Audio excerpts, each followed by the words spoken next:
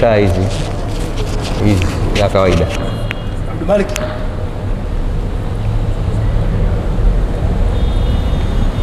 Ngoja kuongezea hii hapa. Na hii. Hii hapo. Haya, Sawa.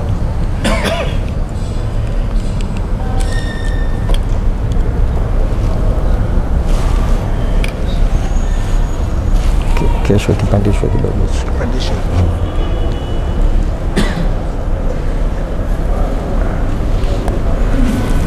صدق الله العلي العظيم. وبلغ رسوله النبي الكريم ونحن على ذلك من الشاهدين والشاكرين. والحمد لله رب العالمين. إن أحسن الحديث كتاب الله. وخير الهدي هدي نبينا محمد صلى الله عليه وسلم. وشر الأمور محدثاتها وكل محدثة بدعة وكل بدعة ضلالة وكل ضلالة في النار ونعوذ بالله. وأشهد أن لا إله إلا الله وحده لا شريك له. وأشهد أن سيدنا وحبيبنا وشفيعنا ومصطفانا ومولانا محمدا عبده ورسوله صلى الله عليه صلاة يخرجنا بها من ظلمات الوهم ويكرمنا بنور الفهم ويوضح لنا ما أشكل حتى يفهم إنه يعلم ولا نعلم وهو علام الغيوب. رب اشرح لي صدري ويسر لي أمري واحلل عقدة من لساني يفقه قولي. أما بعد السلام عليكم ورحمة الله وبركاته.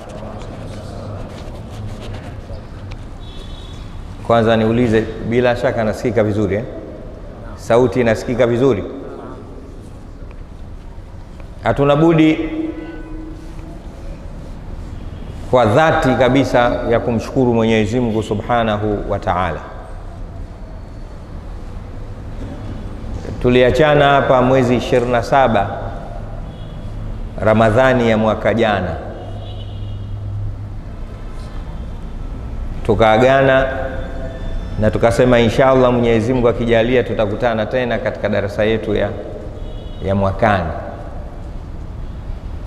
lakini hakuna hata mmoja miongoni mwetu aliyokuwa ana yakini tosha na hakika kwamba atafika siku ya leo. Tumejikuta tumekutana tena leo. Aliyotufikisha hapa ni Mwenyezi Mungu Subhanahu wa Ta'ala. Sote tusemeni alhamdulillah. Alhamdulillah.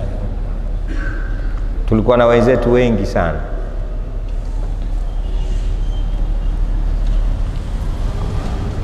kuna wengine tulianza nao Ramadhani hawakufika kati,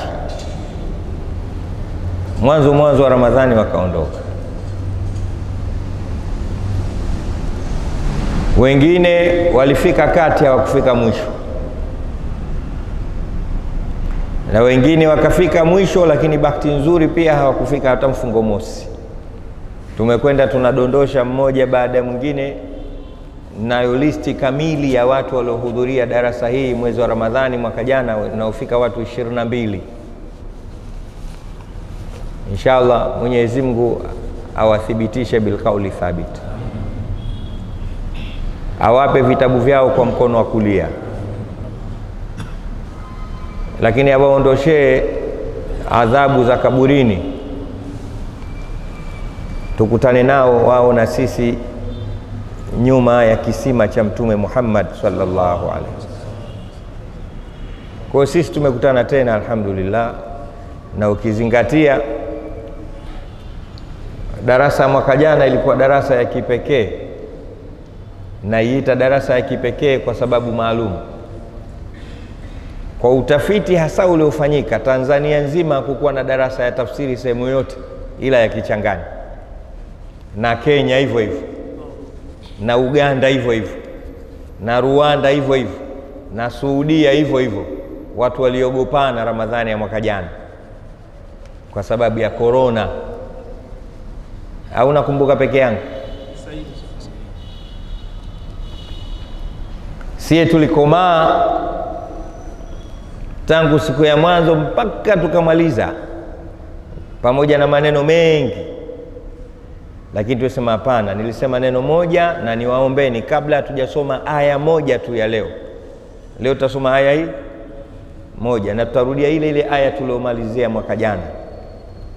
Tutasoma ile aya tuliomalizia mwaka, inasemaje? lahu maqalidu samawati wal ardh. Tutasoma aya hiyo tu inshallah, kesho tutaendelea, lakini leo tutaisoma hiyo, tutasoma hii nyuma yake na hiyo lahu maqalidu samawati wal ardh, maana yake ni zake yeye tu. Hapo kuna takdim ma haquhu taakhiru liifadati taksisi. Wanachuoni wanasema hivyo eh? Kuna takdimu ma haquhu ataakhiru liifadati taksis, ilikuwa sema maqalidu samawati wal ardhi lahu, ingekuwa Kiarabu cha kwetu kisiju, maqalidu samawati wal lahu lakini Mwenyezi Mungu akusema hivyo, kasema lahu maqalidu samawati wal. Tutaeleza kiufupi ni kwamba ni zake yeye tu funguo za hazina za mbinguni na ardhini. Hakuna mtu mwingine anayeshika funguo za hazina za mbinguni huko na ardhini, ila ni zake yeye Mwenyezi Mungu Subhanahu wa Ta'ala tu. Tumeelewana? Sasa ili tuielewe vizuri aya hiyo moja ya leo eh, ambayo tutaianza na ya nyuma yake inasemaje?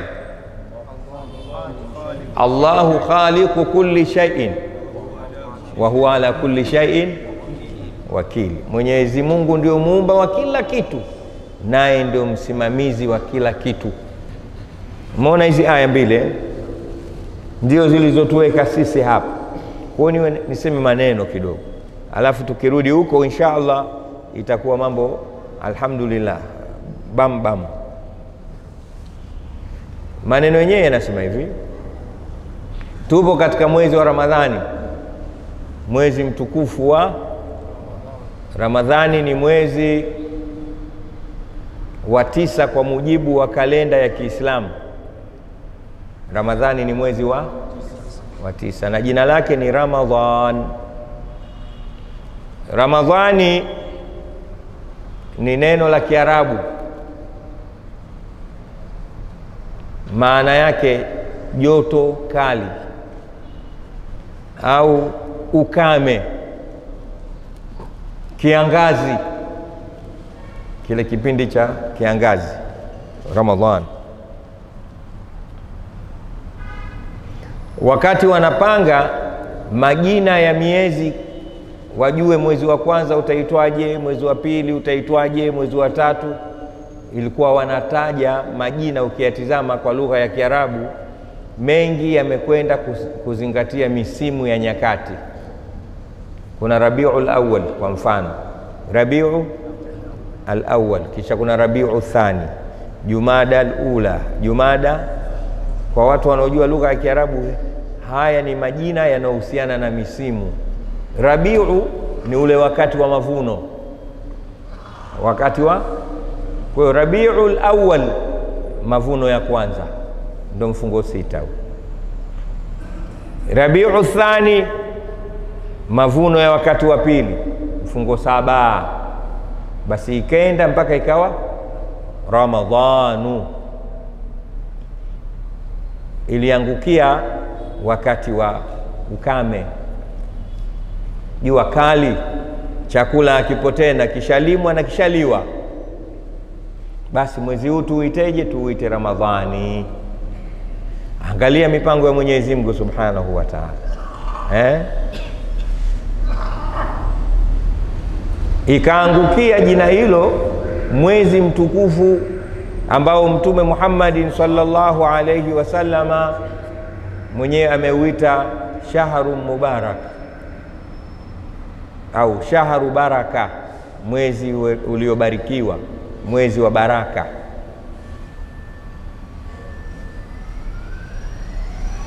Ikawa neno Ramadhani, neno imetoholewa maana yake sasa ikawa ni kuunguza, lakini kinachounguzwa ni nini? Madhambi.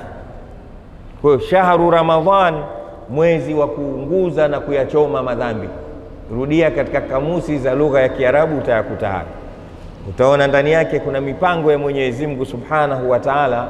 Amewatamkisha hawa wapangaji wa miezi ambao ni Waarabu wa mwanzo mwanzo kabisa huko, watu wa zamani wawafikiane na maana halisi ya, ya mwezi mtukufu wa Ramadhani. Walil asmai athar, wenyewe wanasema majina haya yana athar, jina lina athiri. Kwa hiyo jina la Ramadhani likawa lina maana hiyo kubwa. Sasa ikaacha ile Ramadhani kwa maana ya ukame, ikawa Ramadhani kwa maana ya kuchoma dhambi na makosa ya viumbe wa Mwenyezi Mungu Subhanahu wa Ta'ala. Moja katika khasia au mambo maalumu ya mwezi wa Ramadhani, moja katika khasia zake ni kuta, ku, kuunguza dhambi zetu. Mtume Muhammad sallallahu alaihi wasallam katika hadithi aliyoipokea Ubada bin Samit kama ilivyoitaja Imamu Tabrawi, anasema wazi Mtume sallallahu alaihi wasallam, atakum ramadhanu shahru baraka. Katika riwaya nyingine, atakum ramadhanu shahru mubarak, imekujieni Ramadhani mwezi wa baraka, mwezi wa baraka. Ya salam. Yakshakumullahu fi, Mwenyezi Mungu anakufinikeni katika mwezi huu wa Ramadhani. Fayunzilu rahma, na Mwenyezi Mungu katika mwezi wa Ramadhani anateremsha rehma zake.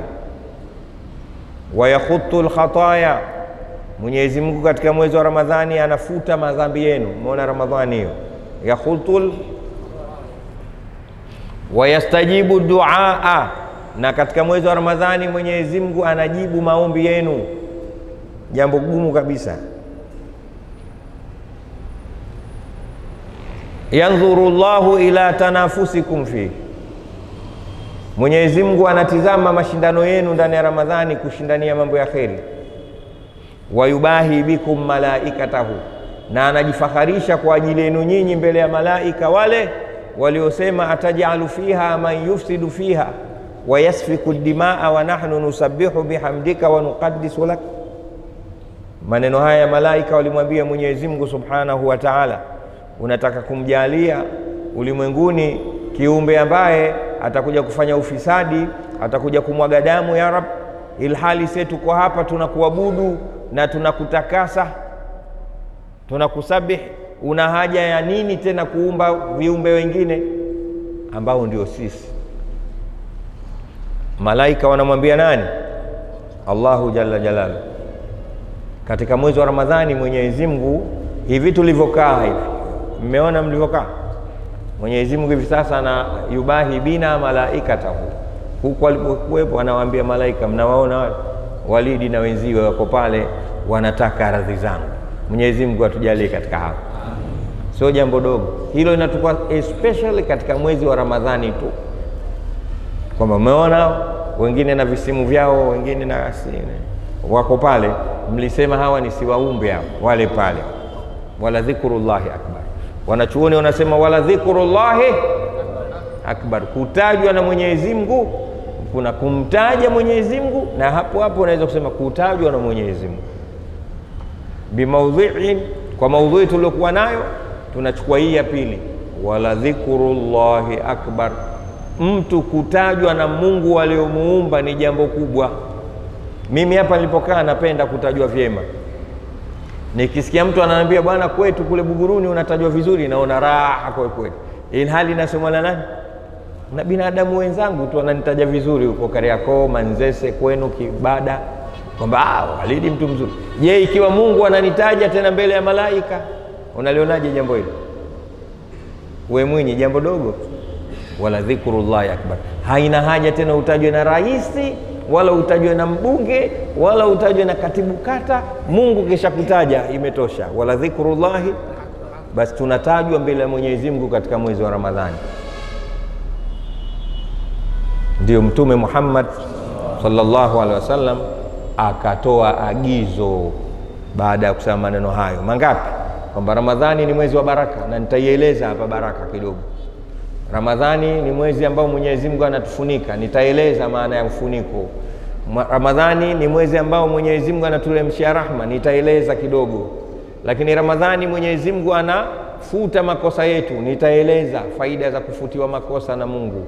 Ramadhani ni mwezi ambao Mwenyezi Mungu anakubali dua zetu, nitaeleza hapo kidogo insha Allah. Ndo darasa ya leo, ili nataka ujue upo katika mwezi wa Ramadhani uishi vipi, kwa sababu tunakosea kuishi ndani ya mwezi wa Ramadhani, tunaishi kimazoea. Hapana, tuishi ki, ki inavyotakiwa. Nataka niseme neno hilo leo, semeni inshallah. Basi Mtume sallallahu alaihi wasallam anahamaliza hadithi, anasema faarullaha min anfusikum khaira, nyie mnaofanyiwa hayo yote,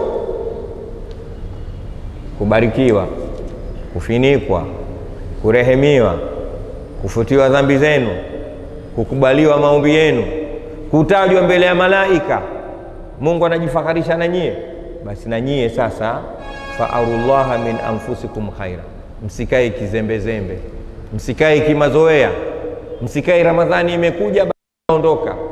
faarullaha min anfusikum khaira, na nyie tumieni fursa ya kumwonyesha Mwenyezi Mungu juhudi zenu za kukimbilia kheri. Waswahili wanasema ukibebwa nawe jishike. Mwenyezi Mungu anatubeba mno, basi na sisi tujishike. Anachotaka ni kuona ile tanafusi na mashindano yetu darasani tunasoma Qurani, tunaswali kwa jamaa, hatupitwi na swala za sunna, lakini tarawehe ndio chakula chetu, witiri ndio kila kitu, qiyamu laili hatuachi, ukweli wetu, kupe, kusaidiana, kila kitu katika mwezi wa Ramadhani. Mwenyezi Mungu atuonyeshe, tumuonyeshe, semeni inshallah. Lakini hayo utayaelewa wakati gani? Ni pale utakapokuwa umeipokea Ramadhani kwa roho yako. Unaipokea Ramadhani kwa roho. Tulia vizuri hapo, unielewe.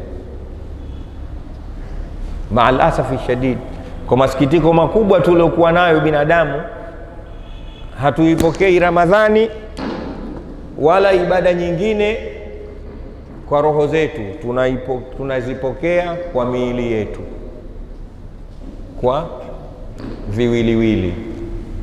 Ramadhani sio mwezi wa kiwiliwili hata kidogo, labda kidogo kwa sababu ya kupata afya alivyojisemea Mtume Muhammad, na hilo halipo katika Ramadhani tu, lipo katika ujumla wa neno kufunga. Sumu hapa mi nazungumzia Ramadhani kabla sijazungumzia swaumu. Mtume anasema fungeni mpate afya. Kufunga ni wakati wowote tu, kufunga ni wakati sumu, eh, fungeni mpate afya. Lakini mi nataka kuzungumzia kila sekunde iliyokuwa ndani ya Ramadhani kabla ya kuitizama swaumu. Kuna vitu viwili, kuna Ramadhani na kuna vitu viwili tofauti. Ramadhani kitu kingine, swaumu kitu isema Mwenyezi Mungu amevikutanisha tu, na nitaeleza. Huo ni mapenzi ya Mwenyezi Mungu Subhanahu wa Ta'ala ya kutukutanishia swaumu katika mwezi mtukufu wa Ramadhani. Utacheka leo, Mungu akubariki, lakini nikutayarishe, ipokee Ramadhani kwa roho yako, ndio itakusaidia katika mwili wako mwezi wa Ramadhani. Juzi nimekwenda Kariakoo mimi kwa haja zangu, sikuweza hata kutembea. Yaani watu wanatembea upande upande hivi kama ngadu. Mnamjua ngadu au kaa kaa, umeelewa? Unakwenda hivi, namna watu walivyojaa. Kariakoo imekuwa mbaya, si magari, si mikokoteni, si wanyama, hakuna kinachokwenda. Vurugu, mechi na wezi na vibaka, ikawa wamepata faida pale, sababu mtu anaibiwa. Ah, watu mbona wengi? eh, wamekuja kujitayarisha na Ramadhani. Sokoni,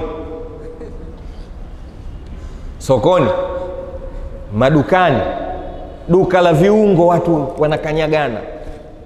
Na wamepata bakti, mpaka wafanyabiashara wengine mko hapa, biashara zote zimepanda bei kwa sababu ndio msimu wa mauzo. Allahu akbar! Unga ngano mnanunua bei gani? Wakina mama kule juu wanajua, kilo elfu tano ndoo ndogo ya mafuta elfu hamsini Watu wa sokoni sijui nazi mnauza bei gani? Bala nini? Watu hawajajua namna ya kuipokea Ramadhani. Wanaipokea Ramadhani kwa mujibu ya miili yao, kwamba Ramadhani ni mwezi wa kupata magimbi, kupata miogo, kupata sambusa, kupata vileja, uji wa viungo unaitwa shurba, una sio na ndio maana utamkuta mtu mmoja leo leo tu asubuhi kaniandikia message, anambia bwana, mimi nataka kufunga lakini sina futari. Unaona, mwingine anaambia ah, kila kitu nacho lakini mtihani daku. Inna lillahi. Haya ni mapokezi wrong ya Ramadhani. Ramadhani haipokewi na kula kula. Sisi Waislamu sio watu wa kula kula. Mmenisikia hapa? Mmenisikia? Japokuwa tutaeleza hiyo, lakini Ramadhani sio mwezi wa kula kula. Hata kama unasikia kuna hadithi kwamba liswaimi farahatani, mfungaji ana furaha ngapi? Eh, furaha ya kwanza wakati wa kufuturu na furaha ya pili wakati wa kukutana na Mola wake. Unasema "Eh, sio furaha ya kwanza wakati wa kufuturu, sio kufurahia miogo, kufurahi kutekeleza ibada salama ndo anafurahi, alhamdulillah, nimefunga leo. Afurahii ile miogo.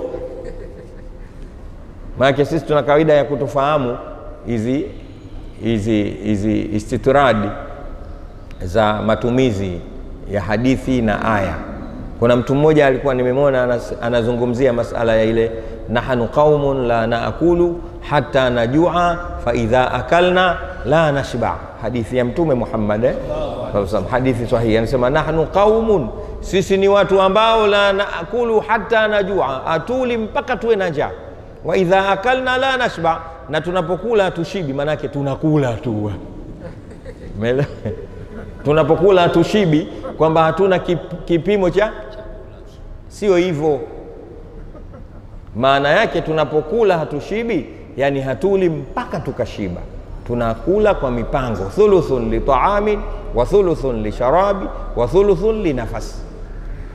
Tumbo letu tunaligawa mafungu haya matatu. Fungu la kwanza chakula, fungu la pili maji, fungu la tatu pumzi. Hatujazi nafasi zote tatu miogo, ndio nahnu qaumun la naakulu hata najua wa idha akalna la nashba.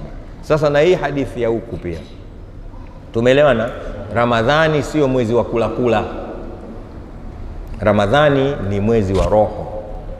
Nilisema mwaka jana na narudia tena, niliulizwa kwa nini Walidi, darasa zote zimefungwa, wewe hufungi darasa na kipindi hili cha korona? Nikaambia mimi na watu wa, Kichangani hatujaiangalia miili yetu. Korona inakuja kuathiri miili. Ramadhani ni mwezi wa roho, tunaitekelezea roho kazi yake. salim Mtume Muhammad. Na nikasimamia hilo, na alhamdulillah kwa muda wa siku ishirini na saba kama tulivyopokea kutoka kwa wazee wetu, Mungu awarehemu na tupate baraka zao. Siku ishirini na saba tukamaliza, alhamdulillah. Waliokwenda wakaenda kwa mujibu wa Mwenyezi Mungu subhanahu wa taala na kadari yake, sisi tukamaliza, na leo alhamdulillah kwa uwezo wa Mwenyezi Mungu tumekutana tena, tuseme ni alhamdulillah. Kwa hiyo wewe una roho na una nini? Una kiwiliwili. Nini cha kufanya? Tanguliza kwanza mahitajio na hawaiji za roho yako. Tumeelewana? Ukisikia mtu kafanikiwa huko, kuna watu huwa wanatajwa, hata wazee wetu, fulani alikuwa shekhe mkubwa, alikuwa walii, akikuonyesha kidole unakaa chini, akikwambia kadha, wale walitekeleza kwanza roho zao haja zake. kabla ya miili mnanielewa vizuri? Mshairi mmoja anasema ya khadima ljismi kamtasa katika mapokezi mengine kam tashqa likhidmatihi atatulubu ribha fima fihi khusranu inhadhi ila ruhi wastakmil fadailahu faanta birruhi la biljismi insanu. Anasema ewe mtu ambaye umekaa kutwa unashughulikia mwili tu. Mpaka lini utaushughulikia mwili?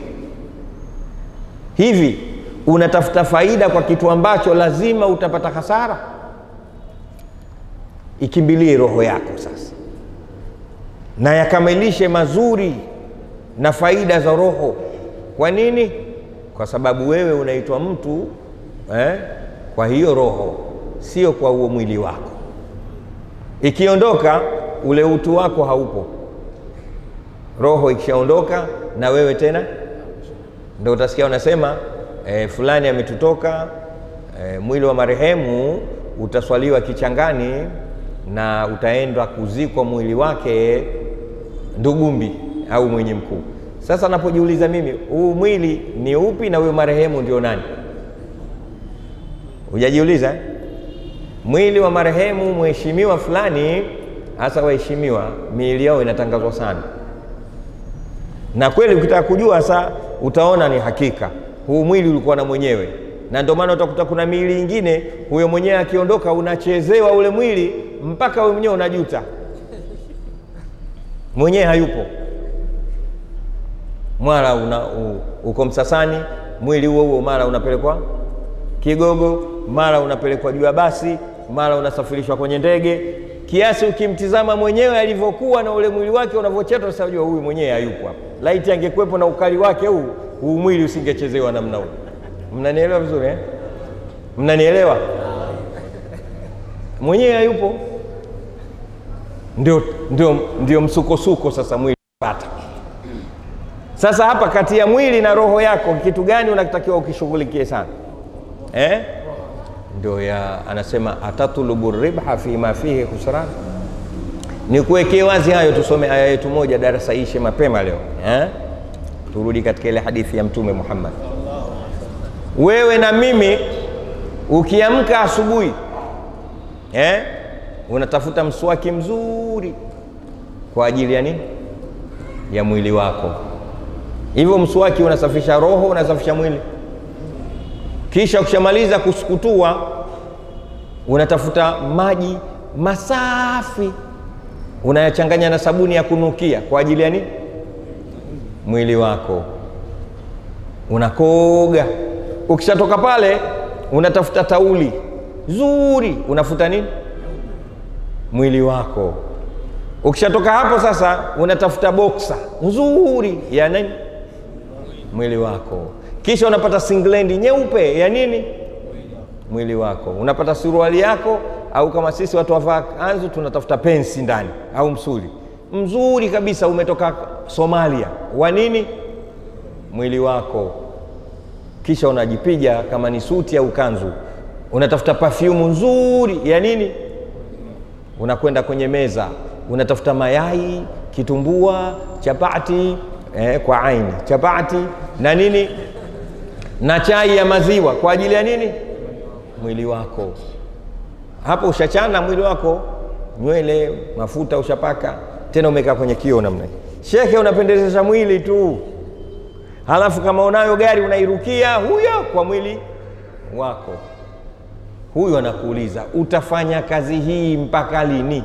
Kwa sababu hata huko unapokwenda kazini kwako ni kwa ajili ya unaenda kuangaika upate ugali wa mwili wako basi hata kama unaoa unaiolea roho. Kwa ajili ya nini? Hivyo yale mahanjamu ya kutaka mke anakaa kwenye roho yako. Eh?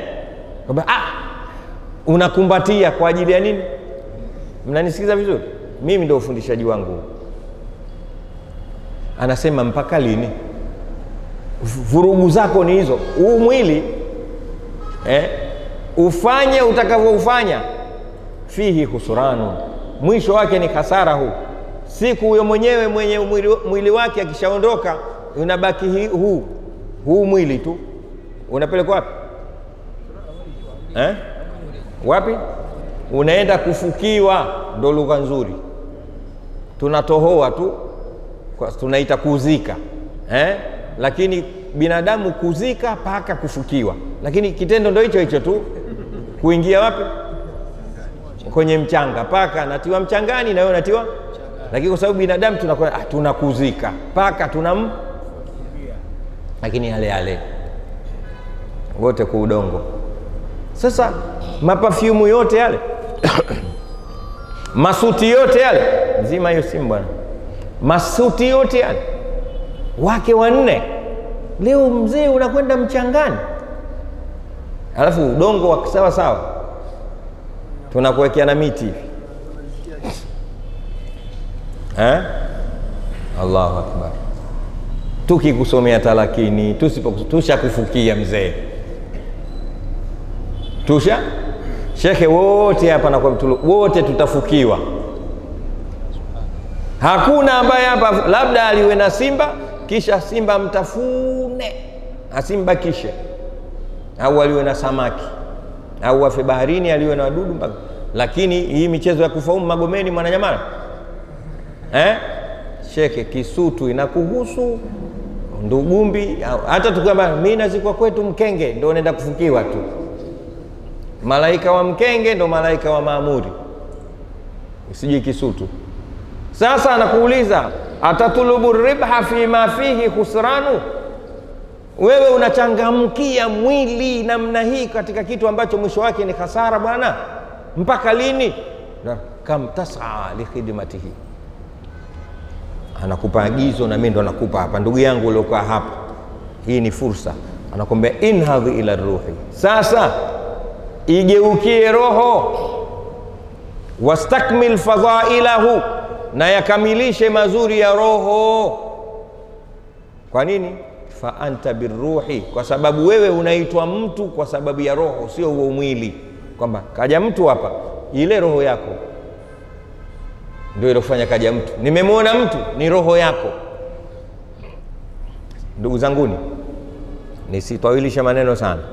Tuipokee ramadhani sasa ya mwaka huu tofauti na tulivyopokea ramadhani za mwaka mingine. Eh? tuipokee kwa ajili ya nini? Roho zetu. Kumbe maana yake roho nayo inataka mswaki. Roho inataka sabuni. Roho inataka maji safi.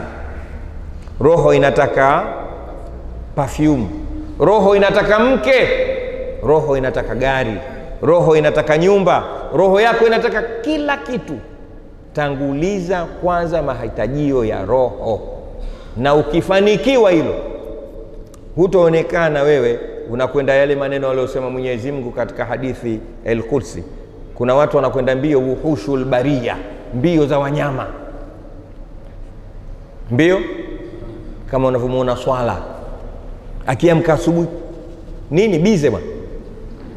Lakini ukitanguliza roho ukitanguliza utakuwa mpole sana.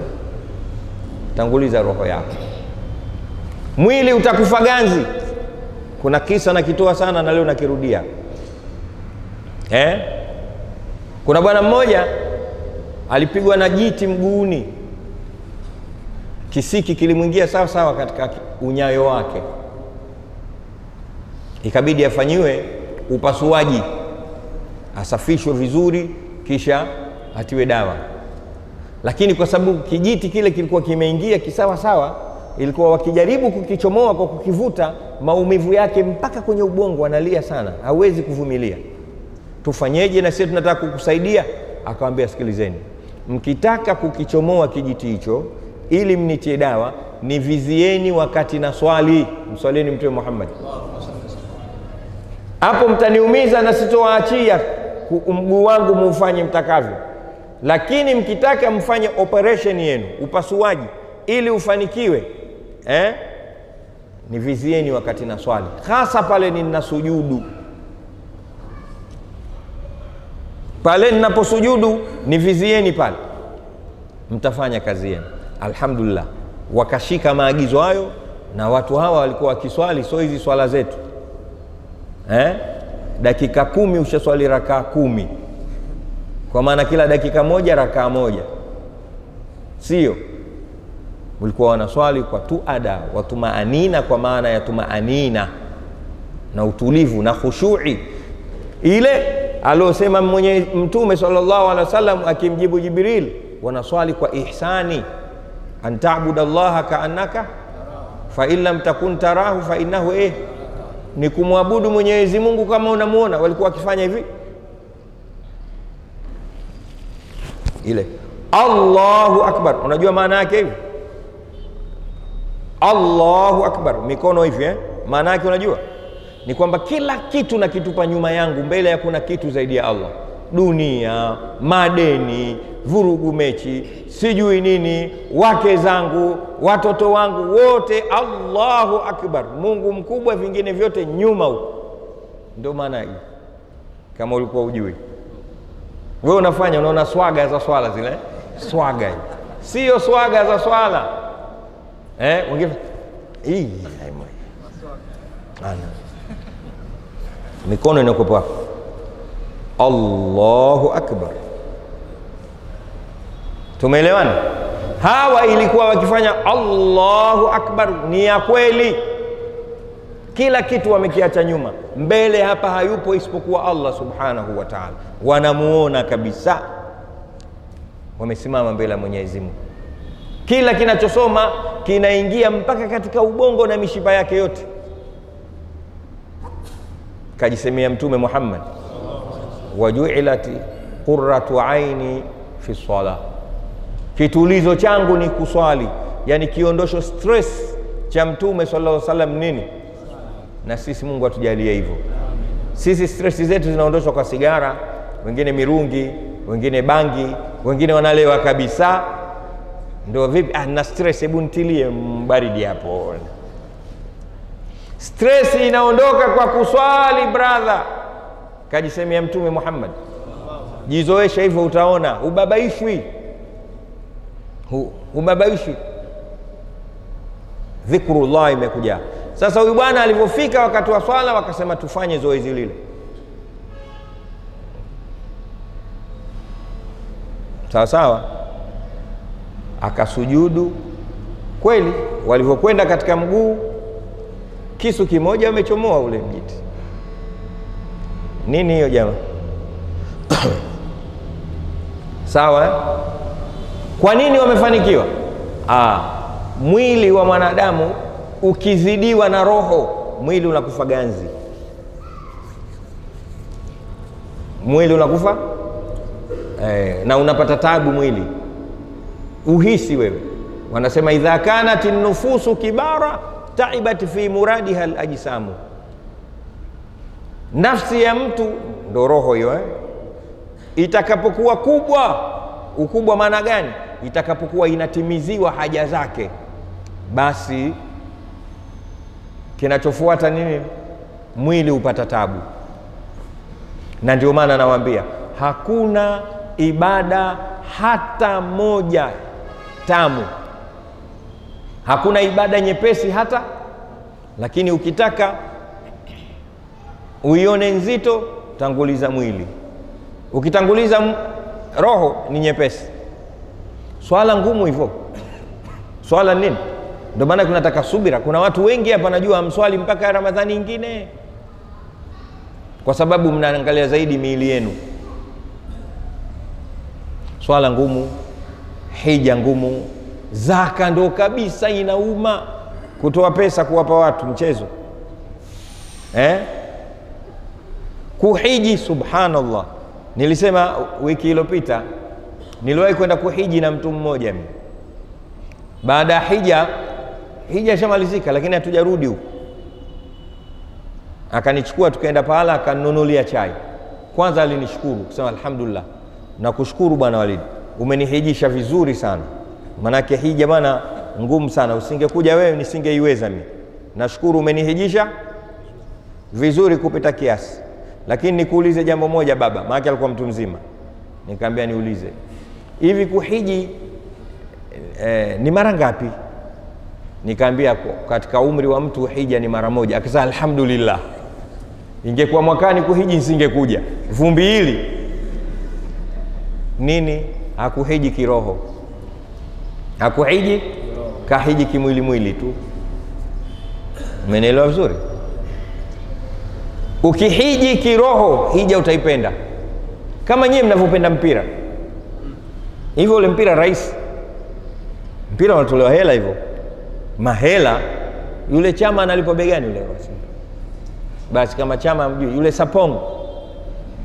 Na kuna watu wa chama na wa Sapong, mnajua wale wanalipwa hela nyingi kuliko nyie, lakini wala hamuoni aibu, hamuoni ugumu, kwa sababu mmewapenda wale kwa roho zenu. Sijui mnanielewa eh? Nimewapata kidogo. Sasa mapenzi haya yaleteni huku katika hizi ibada hizi, hasa swaumu ya Ramadhani. Kuna watu walikuwa wanaswali wanafanya kama hapa, imamu yupo na nanyie huko, vitoto vikawa vinafanya fanya fujo msikitini, huyu kaenda huku, huyu karudi huku. Unajua watoto, mtoto humzuii bwana na utoto wake. Sharti raha ya utoto ni kukukera, sawa. Ukimkataza we, yeye ananyamaza, ukinyamaza yeye anaendelea. Ndo raha ya utoto. Basi watoto wale wamewakera wazee, wanaswali. Baada ya swala, wazee wote kwa pamoja wamejikuta wanawakemea wale watoto. Nyie watoto gani msiokuwa na wazee? Nyie hamna adabu, sijui kadha kadha. Watoto kwanza, kwani vipi? Wakasema si tuna swali, mnatufanyia fujo. Kimoja pale kilikuwa wakauliza, kwani mlikuwa mnatusikia eh? tukaona tulikuwa tunakusikia. Sasa mkuwa mna swali nyie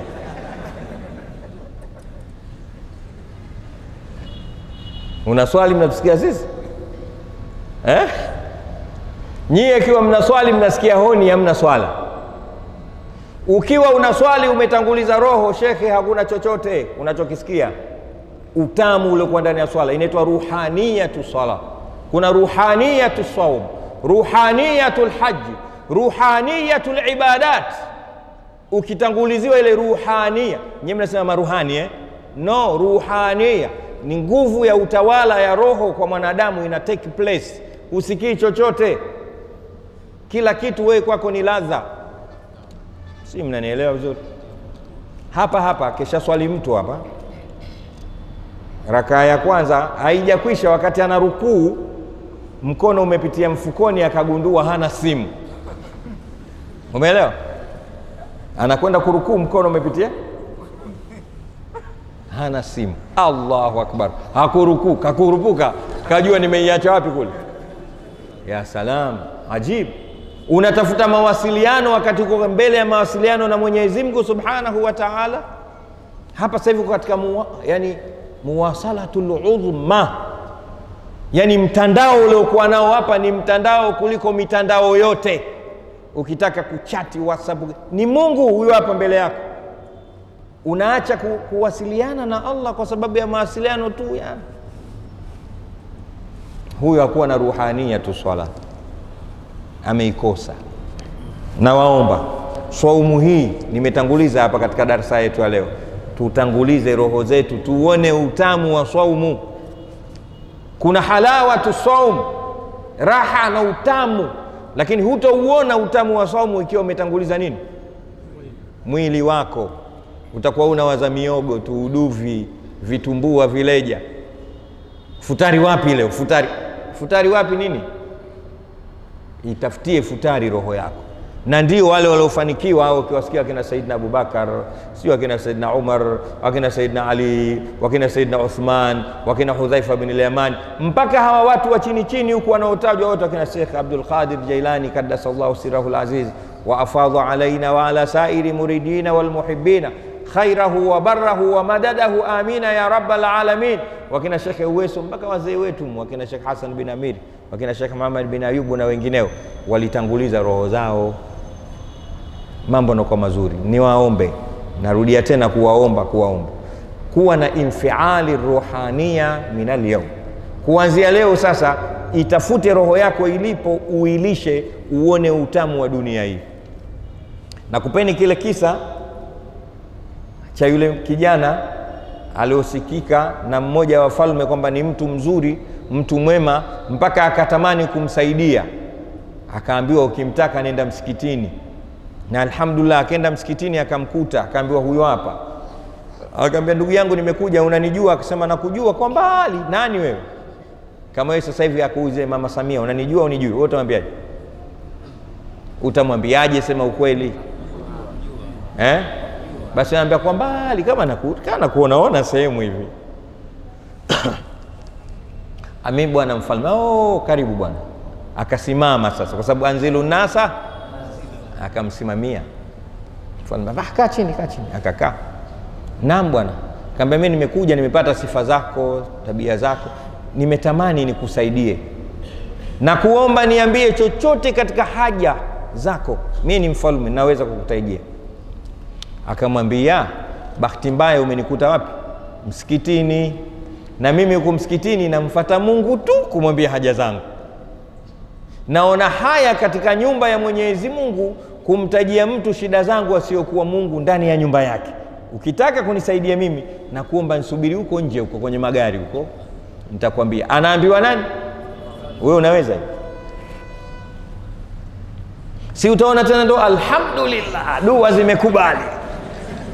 Mungu bwana, dua nimezinyoosha hapa eh, kaja mfalme msikitini mwenyewe. Fa mchezo na dua, na hapo unaanza kumsifu kama hiyo dua kakupa mtu kama yule ana, ana, ana vitu yule hey, kantajia mstari mmoja tu mfalme kaja. Huyu anaambia hapana, unataka kunisaidia mimi ningoje nje? Hii nyumba ya Mungu mundani, haja zangu mwenye kupata bahati ya kuzijua ni mwenye nyumba hii tu, nisubiri. Shekhe mfalme katoka nje, kamsubiri huyu darueshi bwana. Darueshi akiingia msikitini ni yale maneno ya Mtume Muhammad sallallahu alaihi wasallam, anasema idha raaitum rajula ya'tadu almasajida fashhadu lahu bil iman, ukimwona mtu anauzoea msikiti mshuhudie kwamba huyo ni imani wa, muumini wa kweli. Darueshi mtu wa Mungu akiingia msikitini anaona kuliko kuingia hoteli wala nyumba ya mtu yoyote raha zake, yuko baridi wala hajui, na kisha sahau kama kuna mtu tena mfalme kamwambia ni ngoje nje. Ya salam, alivyomaliza haja zake katoka kutoka, kamkuta eh, upo? Mimi nipo bwana, inna al-ahda kana mas'ula. Ah, niambie bwana, wala usio na wasiwasi, nipo kwa ajili yako. Una haja gani? Nataka nikusaidie mimi, mimi mfalme, nimekupenda wewe kijana. Mursalina tena ukiambiwa hivyo wewe ndio utaomba mimi niwe imamu wa kichangani mkubwa, Walidi awe mwadhini tena, hapo tena ndo unanimaliza hapo. Mungu akubariki? Allahu akbar. Yule bwana anasema do, hebu rudia tena swali lako, unataka kunisaidia? Ndio, nataka kukusaidia. Nini? Nataka kusaidia. Akaambia nikuulize, mi nina haja mbili, nina haja za kidunia na nina haja za kiakhera. Unataka kunisaidia zipi katika haja zangu mbili hizi? Nina mafungu mawili mimi, dunia ninazo haja na akhera nina haja zangu akhera. Bwana wewe uliotakafal na kudhamini mchezo wa kunisaidia mimi, unataka kunisaidia haja gani? Akaambia bwana, si unajua mimi ni mwanasiasa. Mwanasiasa mi nasaidia haja za kidunia, upate maji, upate elimu, upate afya bora, upate si ndio mnavyoambiwa na wanasiasa. Hawawezi lolote. Nichagueni mimi, nitakuleteni sijui miundombinu eh? Umepewa, umepewa, si umeshachagua? Wanasema tu ndio. Mimi napenda ile jambo lenyewe linaitwa kupiga kura, nabadilisha kupiga kula, kuwasegezea kula wale tu. Wewe umeelewa? Ndo ukweli wenyewe. Anaambia bwana, mimi ni mwanasiasa, haja ninazoweza kukusaidia wewe ni haja za kidunia tu, haja za kiakhera mwenyewe Mungu. Akaambia ehe, basi ushashindwa. Kwa hiyo unataka kunisaidia dunia? ndio nataka nikusaidie dunia. Akaambia kwa taarifa yako, huyo mwenye dunia mimi simuombi dunia, itakuwa wewe huna dunia nikuombe dunia. Huyo mwenye dunia yake sijamwambia hata siku moja mi nataka dunia, ambaye ni Mungu. we huna dunia hata kitu kimoja, unataka kunisaidia mini huna washika njia bwana, mi nataka unisaidia ada za kiakhera na madhambi, nataka pepo. Kama unaweza hilo, nikukabidhi hapa sasa hivi. Akaambia basi bwana, inna lillahi fabuhita ladhi kafara. Mnanielewa? Mwenyezi Mungu ndo mwenye kila kitu jamani, eh? Mwenyezi Mungu ndo mwenye kila kitu, na tupo katika Ramadhani. Ramadhani hii tuipokeni kwa haya niliyoyasema. Ramadhani ni mwezi wa baraka, tutafuteni baraka. Mungu atu, atubariki katika Ramadhani ya mwaka huu. Najua hapa kuna watu wamemshinda Mtume Muhammadin sallallahu alaihi wasallam kwa Ramadhani nyingi. Unajua Mtume sallallahu alaihi wasallam kafunga Ramadhani ngapi? Tisa tu. Ramadhani hakupata Ramadhani kumi. Tangu ilivyofaradhishwa Ramadhani, Mtume Muhammad sallallahu alaihi wasallam eh, amepata Ramadhani? Tisa tu, mie na nyingi, kwa sababu tangu ni balehe mpaka sasa hivi ziko zaidi ya tisa, na nyinyi hapa nadhani wako watu wana zaidi ya tisa, lakini zikiwekwa ile ya Mtume na hizi zetu, mnanielewa eh? Mtume Muhammad sallallahu alaihi wasallam amepata Ramadhani tisa tu, tena zote ni 29 ila moja tu ndo ilikuwa 30. Rudi katika historia utakuta hivyo. Fata historia ya Mtume Muhammad, Ramadhani tisa na zote 29 ila moja tu ndo ilikuwa 30.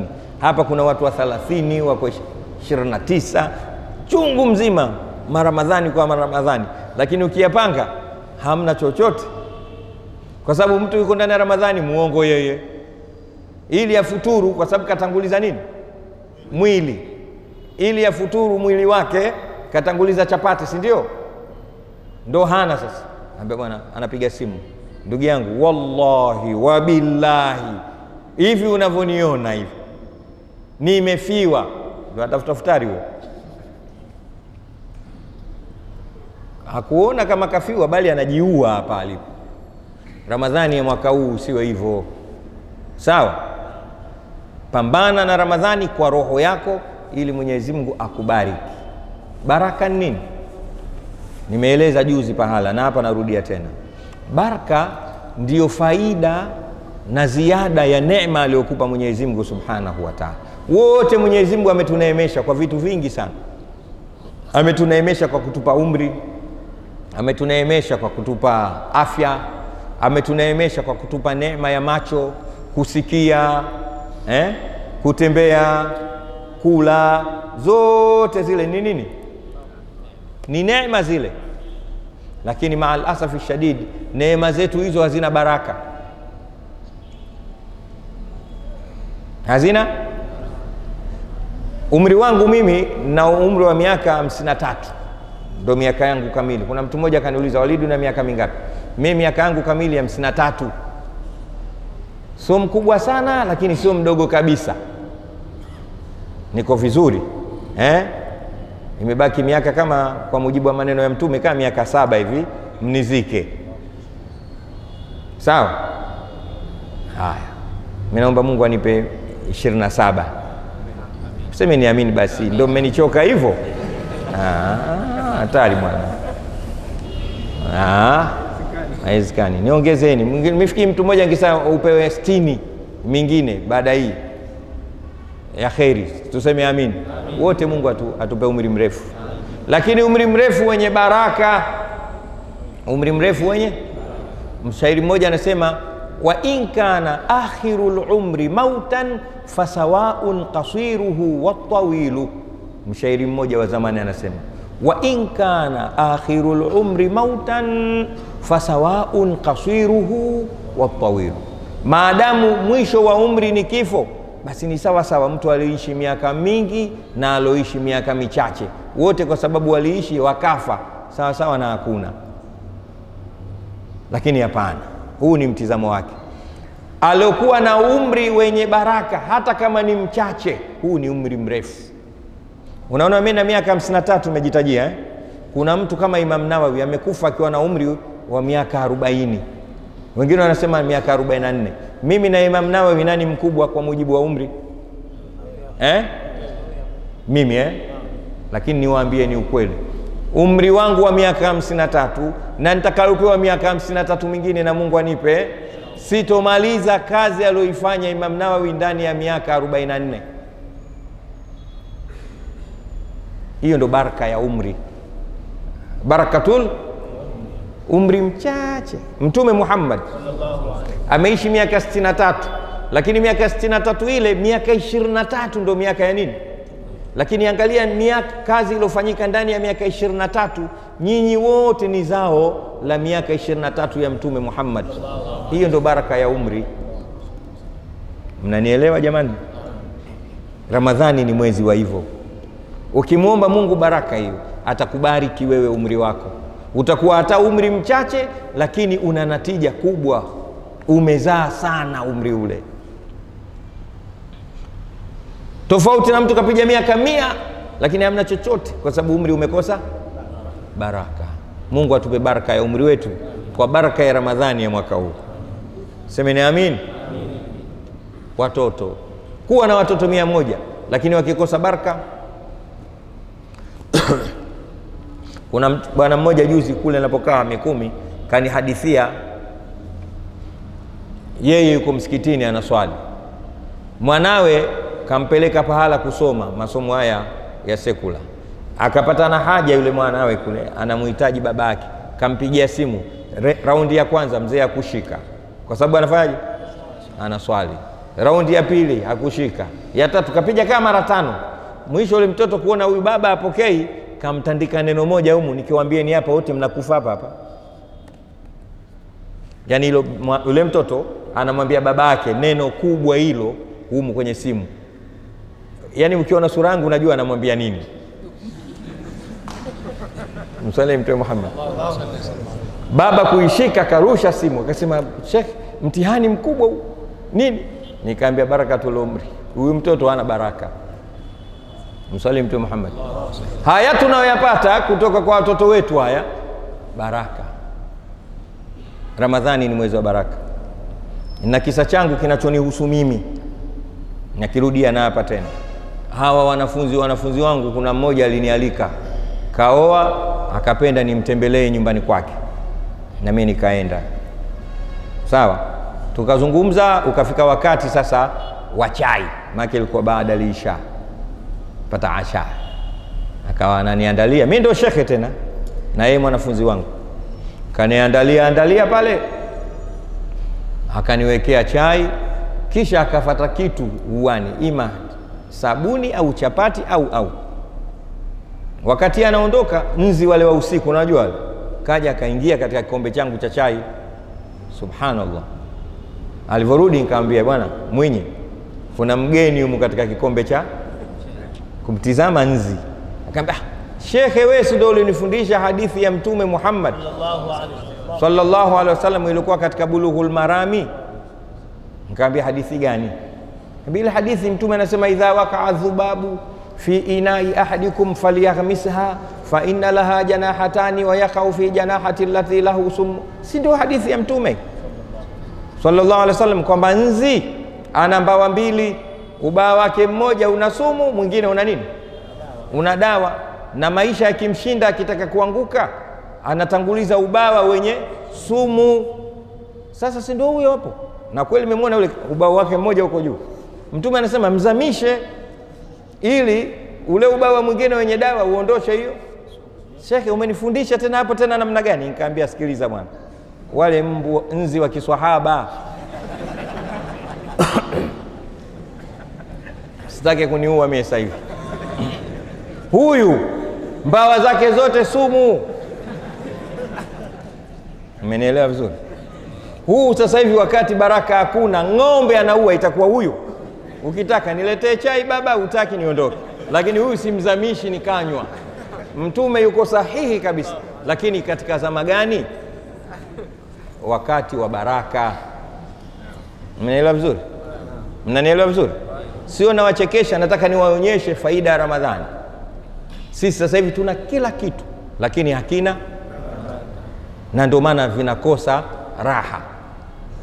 Tunavyo vitu vingi, lakini vitu vyetu wenyewe vinakosa Kuna shekhe wangu mmoja ananiambia, Walidi, zama zetu na zenu tofauti yake moja tu, sisi mmetushinda kwa starehe, lakini zama zetu sisi tuliwashinda kwa raha. Zama zetu sisi zilikuwa zina raha sana, nyie zama zenu zina starehe nyingi. Mmeelewa hilo neno? Ngoja niwachambulie, kwa sababu nyie kila kitu mpaka mwambiwe waziwazi. Inshallah Mungu atawasaidia. Hivi zamani kulikuwa na simu, kwa hiyo simu ni starehe eh? Zamani kulikuwa na maiki hizi, ni starehe. Zamani kulikuwa na umeme, ni starehe. Zamani kulikuwa na TV na ving'amuzi, kulikuwa na magari. Allahu akbar. Sasa hivi sisi vyote hivyo ni starehe, na ukitaka kujua starehe nini, ni starehe isiyokuwa na raha, starehe isiyokuwa rudi nyumbani alafu uambiwe wewe leo ndio zamu yako kulipa luku, unajisikiaje? Siku yote unaona imekutumbukia nyongo, umekosa raha kabisa, ili hali umeme ni nini? Ni starehe. Kuna watu wengi ndoa zao zimevunjika kwa sababu tu kashindwa kulipa king'amuzi. Karudi nyumbani kamkuta mwanamke kanuna kwelikweli, naye huko alipokwenda kaangaishwa, hajapata senti tano anarudi anamkuta mama Chaudele, baada ya kumpokea karibu mpenzi wangu, anampokea kwa nuno. Nini? King'amuzi kimeisha, sare yote imekosa raha. Wewe usio mwanamke, una akili we? Mimi baada ya kuniuliza huko nimepata bei gani, talaka tatu. Mmenielewa vizuri? Kwa hiyo kila kitu sisi tunacho, lakini hakina raha. Nini? Vimekosa baraka. Wenzetu hawakuwa na chochote lakini walikuwa na raha ya dunia. Babangu mimi Ustadh Alhadi bin Omar anaambia kishaondoka hapa kenda mpaka Lamu maulidini kwa baskeli, mpaka wewe hapa na Kimara uwezi bwana, kwa sababu mwili wako una kila kitu, umevimba vimba eh? six pack mnaita zio, lakini hazina baraka. Huwezi kujibeba mwenyewe, acha kubeba mtu mwingine. Mungu atujalie. Ramadhani ni mwezi wa nitoe mfano wa mwisho wa baraka. Mmeona hizi nyumba zilizokuwa Magomeni na Ilala na Kinondoni na Kariakoo, wacha hizi zinazojengwa sasa, rudi zile nyumba zilizojengwa kuanzia mwaka 80 kurudi nyuma, 80 sabini, ndio eh?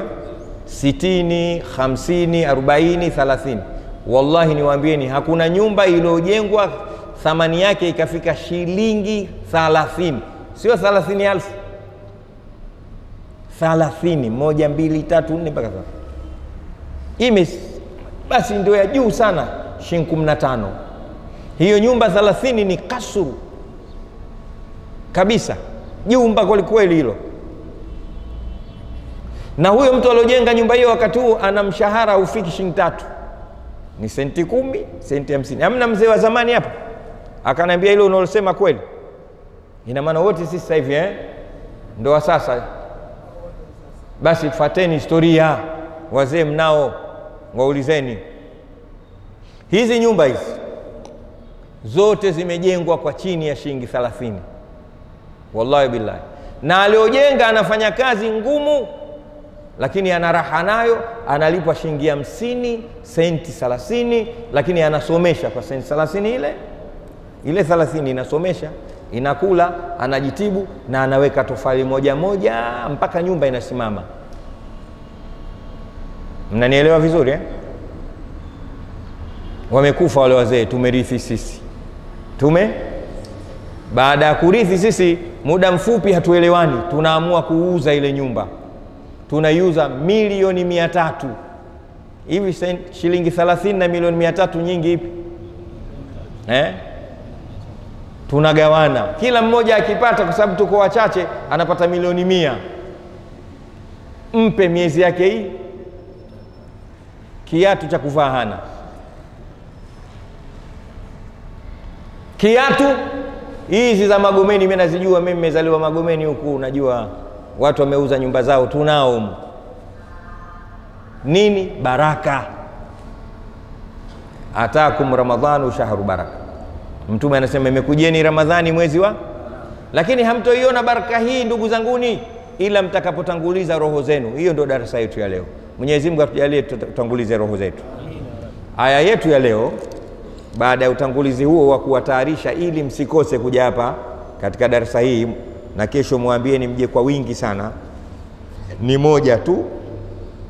Mungu anasema na kesho taieleza, lahu makalidu samawati wal ardhi, ni zake yeye tu Mwenyezi Mungu funguo za mbinguni na ardhi. Kama unataka kwenda mbinguni, milango ya mbinguni. Kuna kitu kinaniudhi hapa, hiyo sauti siitaki eh? Ni simu ni nini?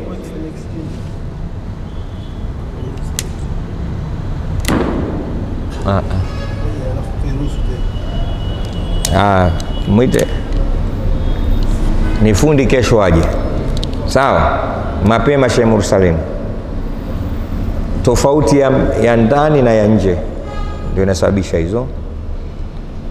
Lahu maqalidu samawati wal ardhi, ni zake yeye Mwenyezi Mungu tu. Hilo neno tu lazima uweke eh? kwa mujibu wa grama za lugha ya Kiarabu eh?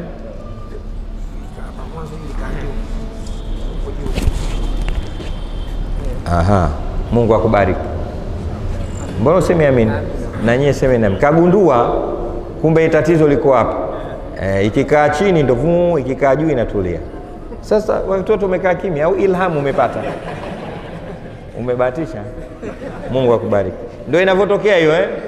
Hata adhana walitaka watu wengi, mtume akasema huyu ndo mwenyewe. Sawa. Mungu akubariki bwana. Na kweli angekuja fundi kesho angetengeneza, sio angetengeneza nini, sio mafundi bwana. Haya, lahu makalidu samawati wal ardi ni zake yeye tu. Hilo neno tu nimesema lifanyeje? Uliweke eh?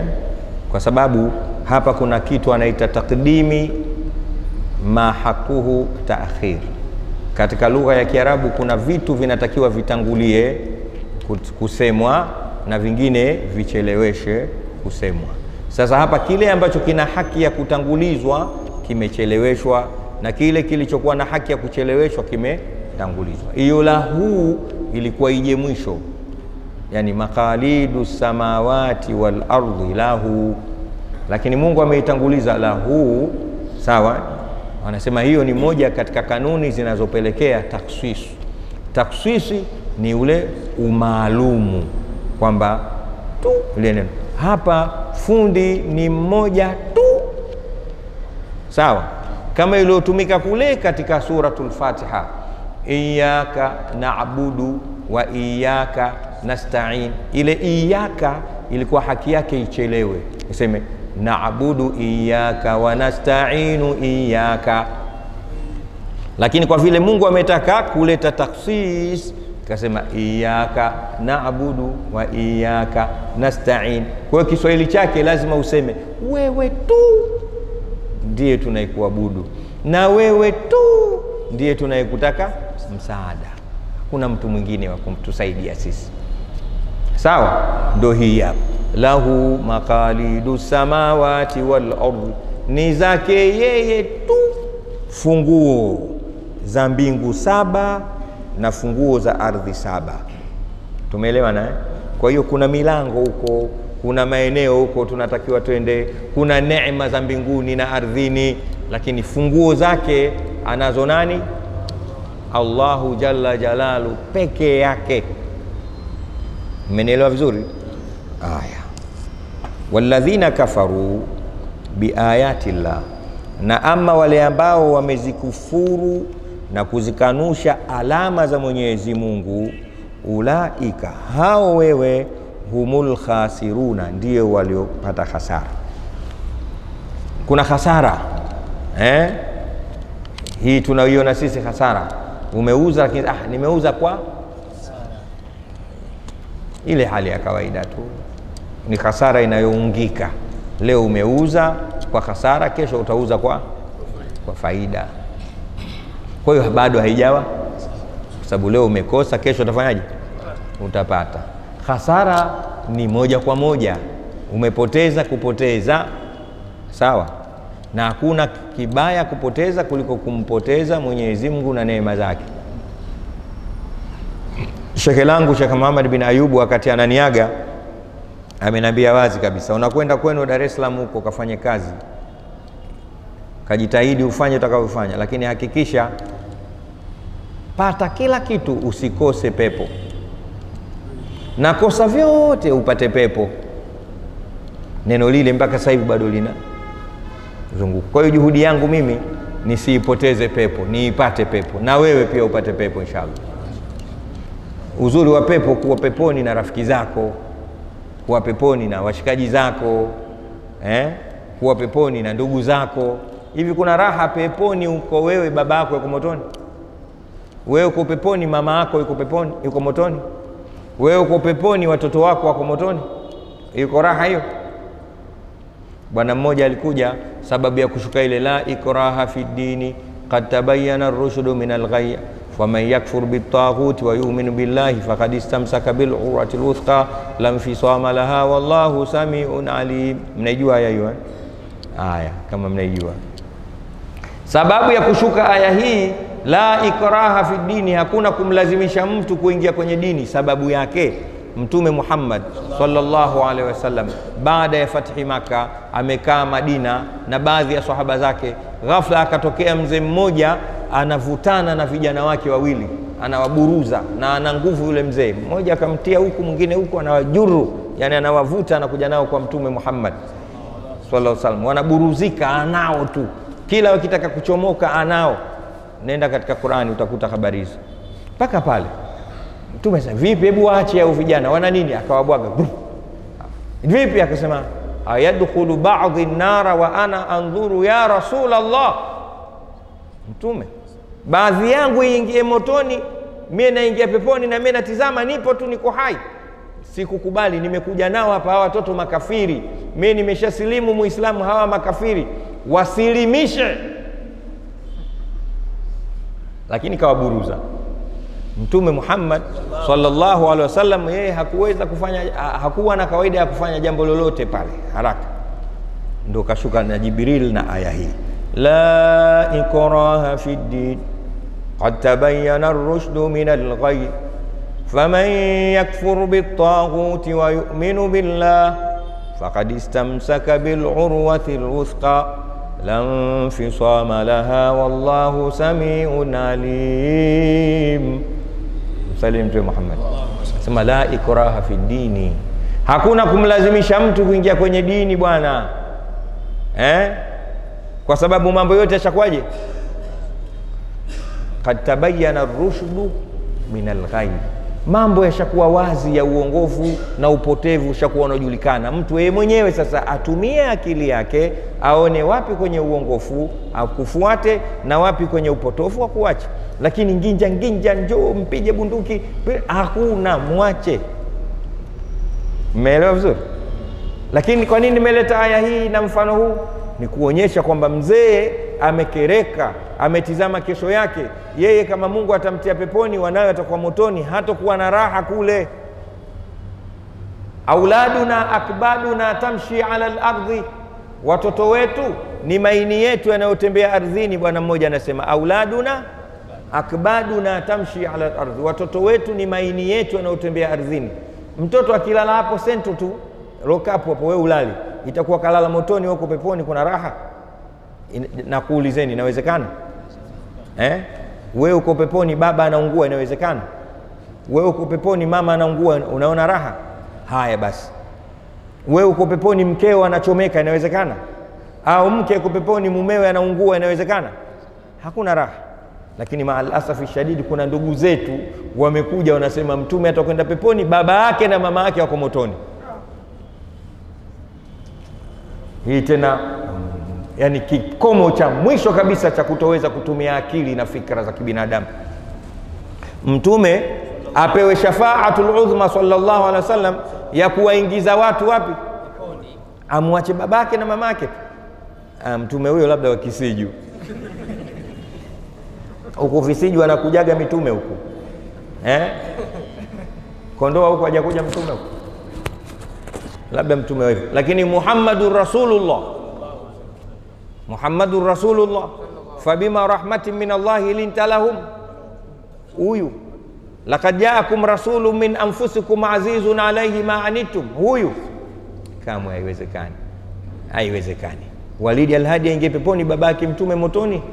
Haiwezekani. Nitabishana na wewe eh, hata kama umesoma wapi, mpaka uniwekee wazi kabisa, huruma ya mtume inipate mimi, isimpate babake na mamake, unifahamisha hilo sawa sawa. Basi lahu makhalidu samawati wal ardh, ni zake yeye tu funguo za wapi? Mbinguni na ardhini. Walladhina kafaru biayati llah, na ama wale ambao wamekanusha alama za Mwenyezi Mungu eh, ulaika humul khasirun, hao wewe ndio wenye kupata hasara ya kweli. Qul, sema afa ghaira llahi ta'muruni eh, a'budu ayuhal jahiluna. Na hapo pia kuna takdimi na taksisi eh? Afa ghaira llahi ta'muruni, ilikuwa asili yake ta'murunani. Eh? lakini ikatumika kitu inaitwa idgham kiswarfa, idgham kubwa ya harfu mbili zenye kuku, zote zenye haraka zilizokutana kama mmesoma swarfa ya Kiarabu. Ilikuwa ta'murunani, lakini ta'muruni ifi asiyokuwa Mwenyezi Mungu mnaniamrisha nyimi aabudu ni muabudu, yani taabudu nipate kumwabudu, ayuhal jahiluna, nyinyi wajinga. Hii tutaieleza sana kesho eh?